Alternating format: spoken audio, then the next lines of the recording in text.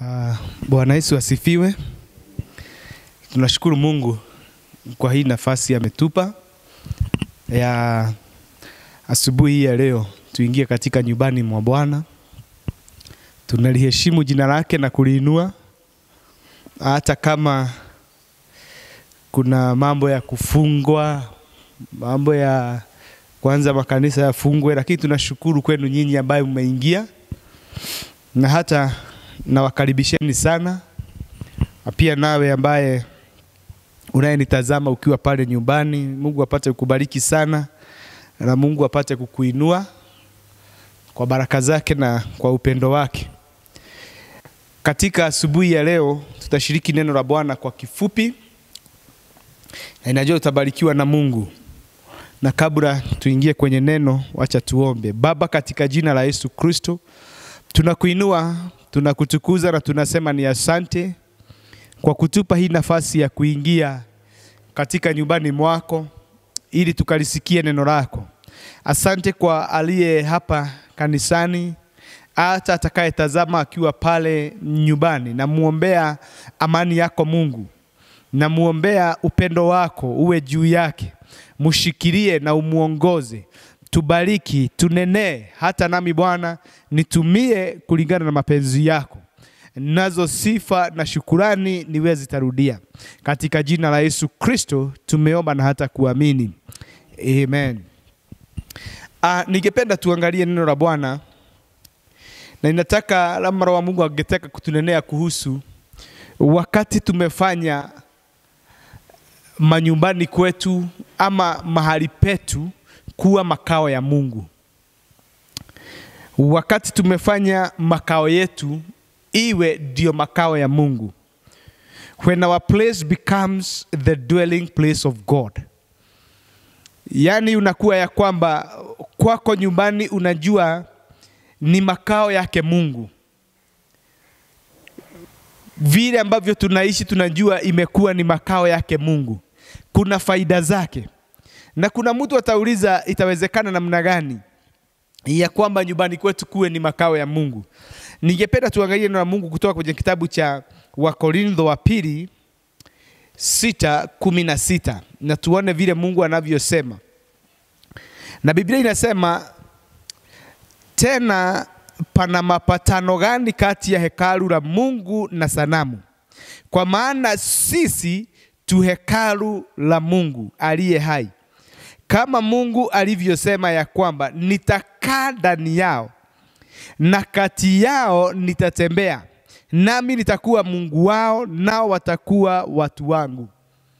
Kwa hivyo hapa Paul anawaambia kanisa la Wakorintho ya kwamba Yesu aliahidi nitakaa ndani yao, nao watakaa ndani yangu, atina kati yao, katikatini mwao nitatembea. Kwa hivyo kuna uwezekano Mungu akae ndani yetu. Kuna uwezekano Mungu akae, akae katika manyumbani kwetu. Kuna uwezekano Mungu akae katika biasharani zetu. Maana Paulo anasema ya kwamba yeye mwenyewe alisema yeah, bora tu kusiwe sisi na mapatano kati yetu na giza lakini kuwe ya kwamba sisi ni nuru. Naye Paulo akawaambia, if that is the case then the Lord will dwell among you, atakuwa in your midst, atafanya mahali penu kuwa ni mahali pake. Nayo katika siku hii na wakati huu kuna mambo mengi sana ambayo yametendeka, ndio nataka tuyaangalie wakati tumefanya kwetu kuwa makao ya Mungu. Wakati tumekubalisha Mungu apate makao katika nyumbani kwetu, wakati tumekubalisha Mungu apate makao ndani ya mioyo yetu, ni nini kinaendelea? Na hilo neno utalipata kwenye kitabu cha Zaburi arobaini na sita kuanzia tu pale moja tutasoma na inajua tutabarikiwa. Psalms chapter 46 from verses 1 naye anasema Mungu kwetu sisi ni kibirio na nguvu, msaada utakaoonekana tere wakati wa mateso. Wakati tumemfanya Mungu ama tumefanya kwetu kuwa makao ya Mungu, jambo la kwanza Biblia imetuambia atakuwa kibirio na nguvu, tena msaada utakaoonekana wakati wa mateso. Wakati kama huu, kile tunafaa kutafuta sana.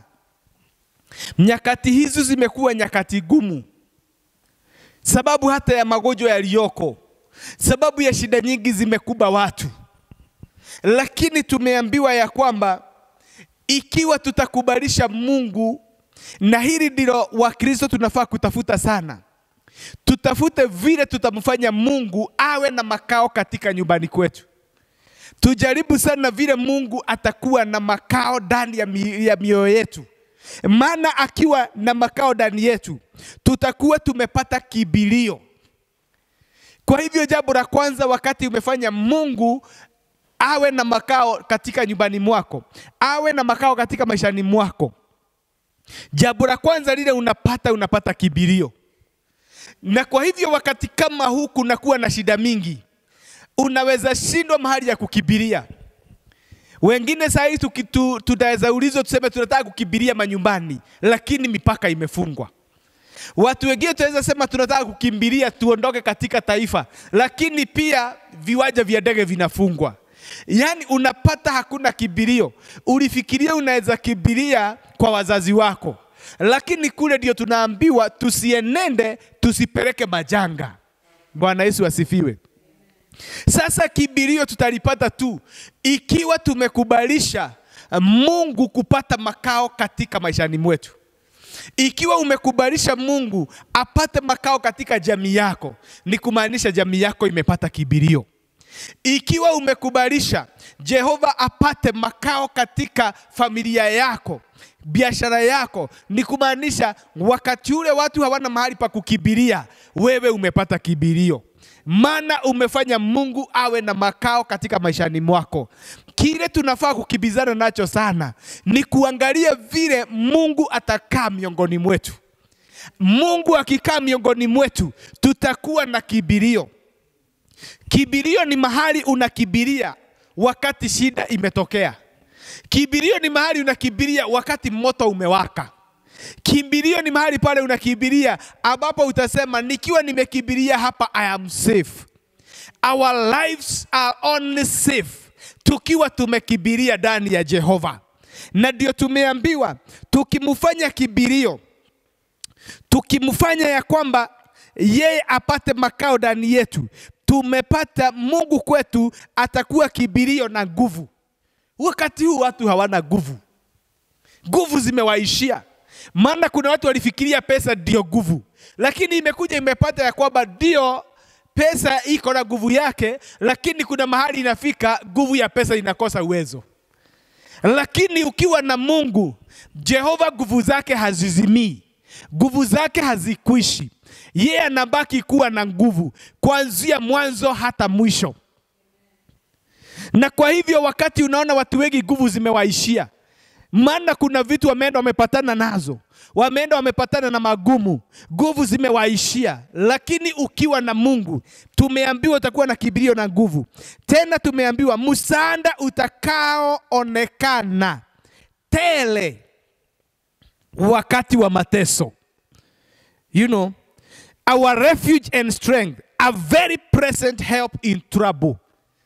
Yani wakati wa mateso ni wakati kama huu mambo inatesa watu, mambo imeumiza watu.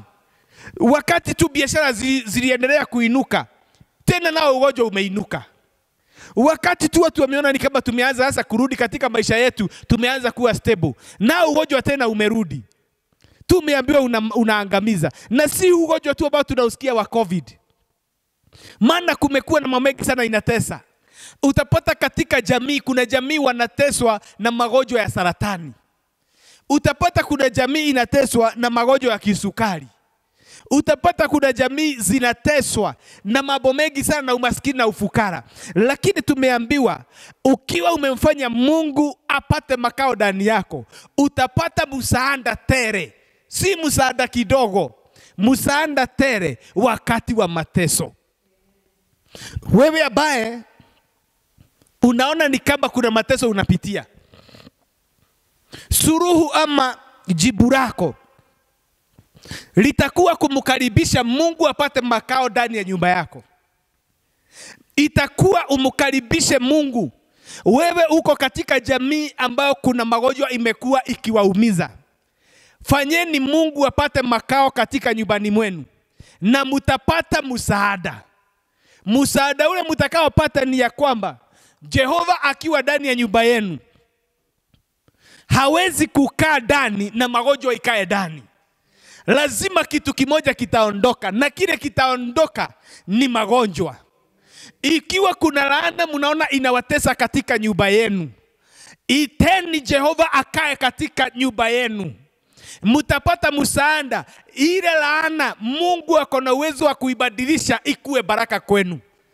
Kile kimekuwa kikiwatesa, tumeambiwa msaada tutaupata wakati tumemfanya Jehova awe na makao ndani ya nyumba zetu. Nayo kuachilia Jehova awe na makao kuna gharama yake, maana kuna Mungu naye hawezi akakaa nyumba moja na uovu. Ni lazima tuyakatae maovu, ni lazima tuzitubu dhambi zetu, ni lazima tukae watu ambaye wanafurahisha Mungu kwa mienendo na hata kwa maneno. Katika nyumbani mwetu tujue ya kwamba kuna upendo, maana palipo na upendo, hapo ndio Mungu anakaa. Tuhakikishe tuko na haki ambao tunatendea wale wengine, maana palipo na haki, hapo ndio Mungu anakaa. Tuhakikishe ya kwamba tumeishi maisha ambayo sio ya, ku, ya, ya kubeba kisasi roho ya, ya kujiripishia. tuachane nayo, ndio Mungu apate makao ndani yetu. Kuna watu walifukuza Mungu kwao sababu ya kupenda kujiripishia, maana Mungu anasema kulipisha kisasi ni kazi yangu. Na kwa hivyo wakati mmeichukua katika boma yenu, mumesema mutajilipishia kisasi, ni kumaanisha basi hamuna haja na Mungu, maana Mungu angekuwa pale awapatie msaada ya kulipisha kisasi. Lakini wakati nyinyi mmejichukulia ile kwa mikono yenu, ni kumaanisha hamuhitaji Mungu tena. Na kwa hivyo tumeambiwa tukifanya Mungu awe na makao maishani mwetu, tutapata msaada. Watu wengine wanaweza kosa msaada, wafikirie misaada watatoa kwa waganga, wafikirie misaada watatoa kwa binadamu, lakini wakati wa mateso ule msaada utakayeuona ni wa Mungu ikiwa tumempa nafasi ya kukaa katika maishani mwetu. Je, ukijipima unaona ni kama Mungu ako katika nyumba yenu? Na sasa kama hayuko, kile kinawatesa kitawatesa mpaka lini? Kilitesa mababu zenu, kimetesa mama zenu na baba zenu, na nyinyi pia kimeingilia kama kizazi. Ni wakati wenu mshikane, muite Mungu, mumwambie kuja upate makao katika familia yetu, ndio haya mateso ya kuishe. Mpaka wakati Mungu atapata nafasi ndani ya maisha yetu, ndio mateso yatakayekoma. Wale watu kwenu mmekuwa mkiangamizwa na magonjwa ile ambayo tunasikia ni ya kurithi, mara ni magonjwa ya presha, mara ni magonjwa ya kansa, mara ni magonjwa ya kisukari. Hii yote itawafuata mpaka wakati mtakapoita Mungu aingie kwenye jamii, ndio ile mateso ikose nguvu tena. Ya pili anasema, kwa hiyo hatutaogopa ijapobadilika nchi. Wakati huu nchi imebadilika, mambo imebadilika. Tulikuwa na uhuru wa kuenenda kila mahali, leo hii kumebadilika, hauwezi kupata. Bereni kulikuwa na mambo tulikuwa tunaona ati kitambo tungefanya hiki na kile kingine. Leo hii nchi imebadilika, maana hata wale wanaoishi wamebadilika. Maana sio mchanga tu inabadilika, ni wale ambao wanaishi katika ile nchi ndio wanabadilika, ndio nchi ibadilike. Leo hii mtu hata analipwa elfu ishirini akamalize mtu yule mwingine. Nchi imebadilika. Leo hii mtu anaweza enda alipe pesa mingi sana kwa mganga, ndio jamii ama familia ya mtu fulani isisimame, maana nchi imebadilika. Upendo uliokuweko hauko leo. Watoto wanainukia wazazi wanaomaliza sababu ya mali. Mama akishikwa na, na umasikini, unaona ameshika watoto bila huruma, wameenda wamejirusha kwa, kwa, kwa shimo la maji, ameshika watoto wamejirusha kwa, kwa damu. Know, amekuja mzee na hasira zake, maana nchi imebadilika. Mzee na hasira zake anakuja anachoma nyumba, wote wakiwa ndani, maana nchi imeharibika na imebadilika. Imebadilika kutokana na ule upendo uliokuweko imebadilika kutokana na haki. Leo hii watu kumalizana sababu ya mali si kitu, si jambo ngeni, maana hichi imebadilika. Lakini naye sasa hapa anasema, kwa hiyo hatutaogopa ijapo nchi itabadilika. Sisi hata nchi ikibadilika, tukiwa na Mungu katika maishani mwetu tukiwa Jehova anaishi katika nyumba zetu, hatuta hatutaogopa, maana Jehova atatutetea. Kwa wale waasi, Jehova atatutetea. Kwa wale waja, wanaokuja kumaliza doa, Jehova hatawakubalisha kuingia kwetu, maana Jehova akiwa katika familia yetu, hakuna uovu utakayepita kwa mlango, hakuna mshale utakayepita kwa mlango, tukiwa tumemfanya Jehova aishi katikatini mwetu, maana hakuna vile Jehova atakubalisha. Yeye amekaa katika nyumba yako na akubalishe mtu mwingine aingie huko na akuje aichome. Hakuna vile Mungu atakubali nyumba ichomwe akiwa ndani. Bwana Yesu asifiwe. Na kwa hivyo siri, wakati huu dunia imebadilika, siri siri yetu sisi tulio kanisani, siri yako wewe uliye nyumbani, fanya makao yako iwe makao ya Mungu. Ukifanya katika nyumba yako kuwe na makao ya Mungu, hata kama nchi imebadilika, kwako utakuwa salama nyumba yako itakuwa salama na hautaogopa. Sikiza, ijapo tetemeka milima moyoni mwa bahari. Haleluya! Hata kama milima itatetemeka, milima ni kumaanisha hata zile vitu tuliona haziwezi kusonga, tuone zikisonga. Milima ni kusema hata wale tuliona wamesimama wa, wako kidete sana, hata na mali ni kama hawezi kuondoka. Tunawaona wakiondoka. Tumeona magonjwa haya yameingia, hata watu wenye mali, watu wenye, wenye majina kubwa inawaondoa wale. Zile vitu zimekaa kama milima. Wajua, katika Biblia milima inashikwa ni kama kitu ambacho kiko thabiti na ndio maana hata Yesu alitumia na mfano akasema, imani yenu hata ikiwa ndogo, muta, milima ing'oke na itang'oka. Na kwa hivyo hata Mungu mwenyewe anafahamu milima ni kitu ambacho kimepandwa na kimewekwa na nguvu, lakini tumeambiwa hata kama hiyo milima itatetemeka, walio na Mungu katika nyumba zao hawataogopa hata kama tutasikia kuna tetemeko katika milima, hata tukiona walio na mali wakiondoka kwetu, sisi tunajua hatuishi sababu ya mali, tunaishi sababu Mungu yuko nyumbani kwetu. Hata tukiona ndoa za watu waliokuwa wakubwa zikivujika tutajua ya kwamba yetu haitavujika, si kwa sababu sisi tuna majina kubwa, si kwa sababu tuna masomo mengi, lakini kwa sababu Mungu yuko katika nyumba yetu. Yaani tukiwa na Mungu, tukifanya Mungu apate makao nyumbani mwetu, kuna uhakikisho wa usalama, kuna uhakikisho wa kuishi miaka mingi, kuna uhakikisho wa watu kuwa na afya kuna uhakikisho ya kwamba nyinyi hamutasonga hata milima ikisonga. Na inaendelea kusema ati maji yake yajapovuma na kuumuka, ijapopepesuka milima kwa kiburi chake. Hey, haleluya! Ati hata kama kutakuwa na maji yenye ikuwe na shida nyingi. Unajua, wakati dhoruba ama wakati unasikia maji ile yakivuma, kuvuma kwa maji ni kumaanisha yani maisha ambayo imejawa na, na, na shida mingi, ni dhoruba ya maisha. Ni kama wakati Yesu alikuwa na wanafunzi wake baharini, lakini maji na upepo ikavuma sana, karibu mashua yao imezwe na maji, lakini Yesu alikuwa amelala huko. Bwana Yesu asifiwe. Na sababu alikuwa amelala huko, walikuwa wamefanya mashua yao makao ya Yesu.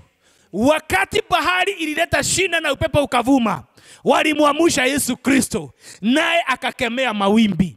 Na ndiyo maana ninasema ya kwamba hata nasi ijapokuwa maji itavuma, ijapokuwa kutakuwa na turbulence in life, as long as Jesus is in our house, as long as our place is the dwelling place of the most high God, sisi ni kumwamusha, tutamwamusha.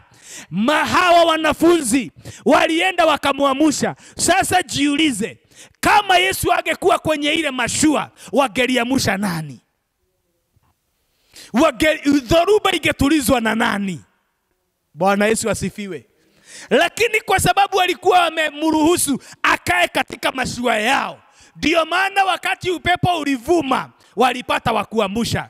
Wewe wakati mashua yako karibu imezwe na maji, unaamushanga nani? Wewe wakati familia yako karibu imezwe na, na magonjwa ya dunia hii, utaamusha nani kama Yesu hayuko katika nyumba yako? Wakati waganga na uchawi wa dunia hii utainuka, wewe utaamusha nani kama Yesu hayuko katika nyumbani mwako? Na ndio maana watu wa Mungu tumeambiwa ati maji yake yajapovuma, yaani shinda za shetani zijapovuma, haleluya, eh, na ijapo pepesuka milima kwa kiburi chake. Hata milima ikipepesuka, yani the mountain shake with the swelling thereof kwa kiburi cha, cha, you know, kwa kiburi cha, cha, cha, cha shetani milima iweze ku, kupepesuka. Sisi tunasema hatutaogopa, maana tuko na Mungu wa kutushikilia. Hata wakati huu kumeinuka mambo mengi sana ya kumaliza wanadamu. Sisi kwetu tunasema Yesu kwetu ni rafiki, na hata kubali tuagushwe na hii dhoruba. Wewe ambaye unayenisikiza, ni wakati wako wa kuinua imani pamoja na mimi, tuweze kusema Yesu akiwa upande wetu, ni nani atakayekuwa kinyume chetu? Ni ugonjwa gani utakayekuwa kinyume chetu? Kwani ni ugonjwa gani Mungu hawezi kuuzima? Kwani ni virusi gani Mungu hawezi kuzima?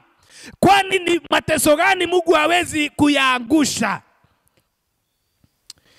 Laini ya nne inasema kuna mto vijito vyake vya ufurahisha muji wa Mungu. Haleluya! patakatifu pa maskani zake aliye juu. Tumeambiwa kuna mto vijito vyake vyafurahisha muji wa Mungu. Muji wa Mungu ni mahali Mungu yuko, na kwa hivyo kama kwa nyumba yako umefanya Mungu akae huko, huo ni muji wa Mungu. Na tumeambiwa kuna mto utakayekuja ukifurahisha muji wa Mungu. Kwa hivyo wakati huu kuna matatizo mengi na mateso mengi, ikiwa kwako Mungu anakaa, haleluya, kuna mto utakayekuja ukifurahisha kwako. Wakati wengine kunateseka, kuna mto utapitia kwako. Kuna mto utapita ukileta uponyaji. Kuna mto utapita ukileta amani.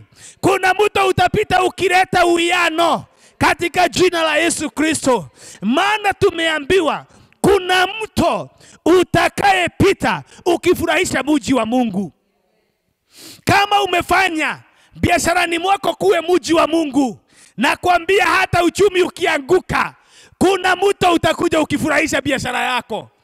Ikiwa umefanya nyumba yako na doa yako kuwa mji wa Mungu, kuna mto utapitia hapo na utafurahisha doa yako. Wakati zingine zinavujika, yako haitavujika. Wakati wengine wanauliwa na maradhi ya dunia hii, kuna mto utabemba uponyaji na ukuja upitie kwako. Haleluya! Lakini ni vyema uweze kuelewa, tumeambiwa kuna mto, vijito vyake vya ufurahisha muji wa Mungu. Kwa hivyo sio kila mahali mto huu unafurahisha. Huu mto unafurahisha specific, specific. Hallelujah, the city of God. If you have made your family the city of God, if you have made your homestead the city of God, if in your business you have made it the city of God, there is a well, there is a stream that will come giving you joy, even when people are crying.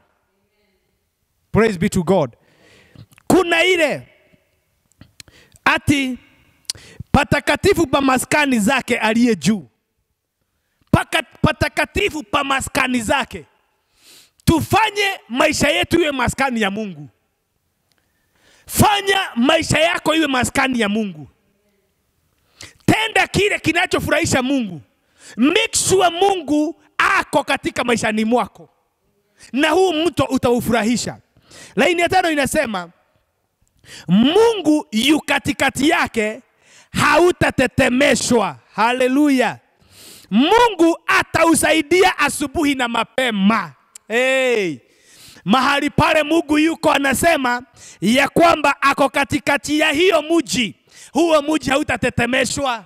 Ikiwa Mungu yuko katika familia yako haitatetemeshwa.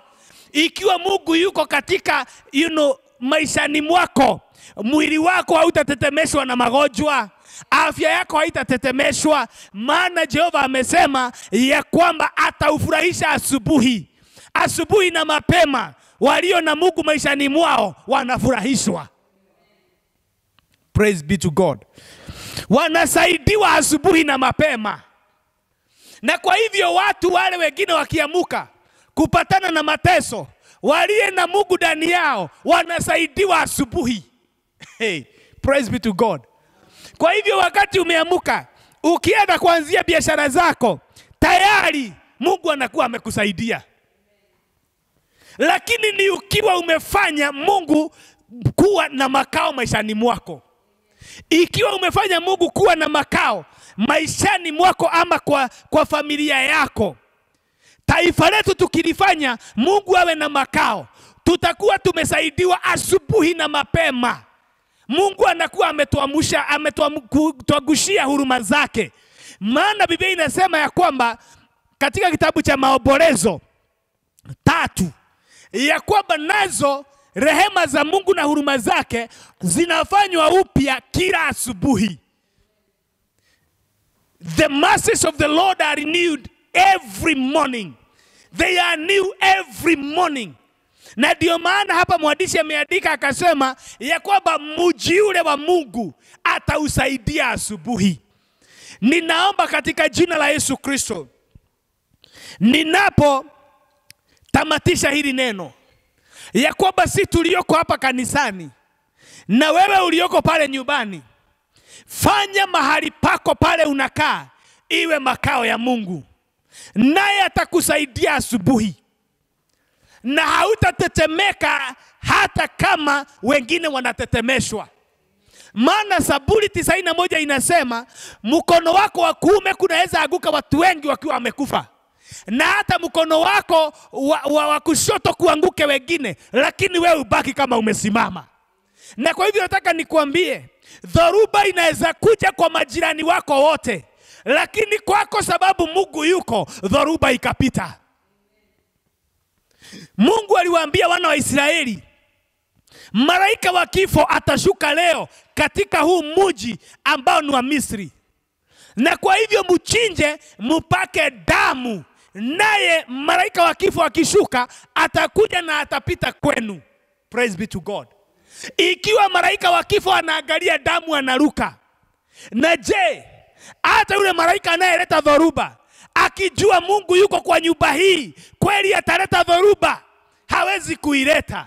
Na kwa hivyo jameni, siri ni moja, siri ni moja, kukubalisha Mungu akae maishani mwetu, kufanya Mungu awe na makao ndani ya mioyo yetu, kufanya Mungu awe na makao katika taifa letu, kufanya Mungu awe na makao katika mahali tunaishi kwa nyumba zetu.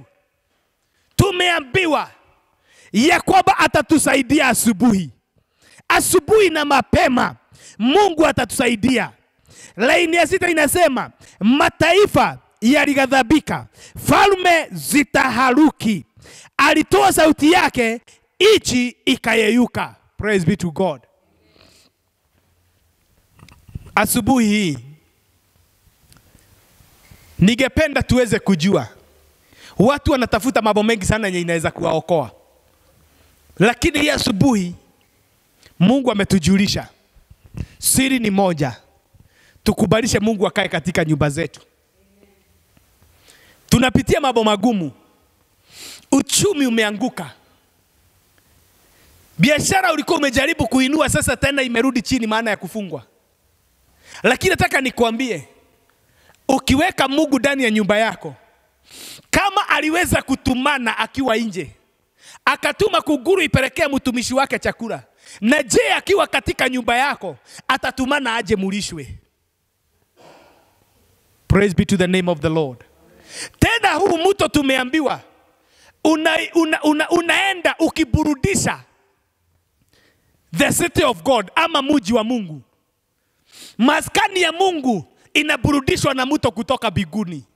Ninaomba ufanye makao yako iwe maskani ya Mungu na utaburudishwa wakati huu.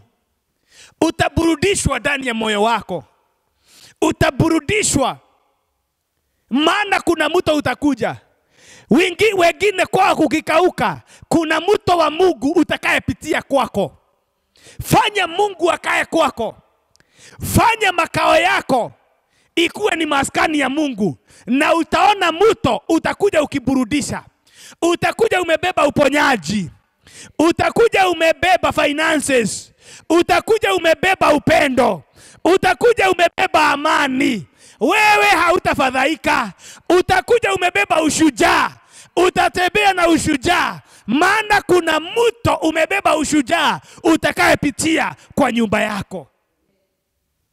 Huu mto ukipita kwa nyumba yako, hata kama kwenu watu hukufa na magonjwa ya kansa, huu mto ukipita kwenu, kansa inakosa uwezo, inafagiriwa na hii mto. Hata kama kwenu munakufa mkiwa na miaka midogo, premature deaths, huu mto ukipita kwako, unakuja unabemba chochote kile hakijatokana na Mungu, kinakujwa kikibembwa, kinaondolewa, munaanza kuishi miaka nyingi. The secret is making our place to be the city of God. Maana katika kitabu cha Korintho 6:16 tumesoma tukasikia ya kwamba mimi nitakaa ndani yao na miongoni mwao nitatembea. So there is that possibility of God making our places his dwelling place. Kuna uwezekano wa Mungu kuifanya iwe makao, na kwa hivyo nakuombea wewe uliye hapa kanisani na wewe uliye pale nyumbani, kubali kufanya Mungu apate makao ndani ya maisha yako. Fanya nyumba yako iwe ni makao ya Mungu ya kuishi. Fanya mahali yako ya biashara iwe ni mahali ya Mungu ya kuishi, na utaona huu mto ukipita kwa huko na ukileta msaada. Na kwa hivyo naomba popote tulipo tukaweze kuomba in Jesus name. Baba, katika jina la Yesu Kristo, jina limepita majina yote, katika hii siku tumeomba ya kwamba katika nyumbani mwetu tutaifanya mji wako Mungu, utaishi mahali pale, ndio naye sasa iitwe the city of God. Ndio huu mto unaoenda ukiburudisha, upate makao maishani mwetu, upate nafasi maishani mwetu. Mungu wetu ukatuonekanie, Mungu wetu ukatubariki, Mungu wetu kumbuka huyu aliye nyumbani. Inaweza kuwa ni shida mingi sana iliyo kwao, lakini Bwana ninamwombea katika jina la Yesu Kristo ya kwamba Bwana, shida hizi zitafika mwisho, utamsaidia Mungu ili akaweze kuovercome kile anapitia katika jina la Yesu Kristo. Tunajibarikisha kwako, tunajiachilia kwako. Wewe ndiye msaada wetu na wewe ndiye tegemeo letu. Tubariki Bwana, na ni katika jina la Yesu Kristo tumeomba na hata tumeamini na tukaseme amen. Amen. Mungu akubariki sana. Mungu awabariki, Mungu awabariki mlio nyumbani na Mungu atendee mema. Thank you so much. God bless you so much.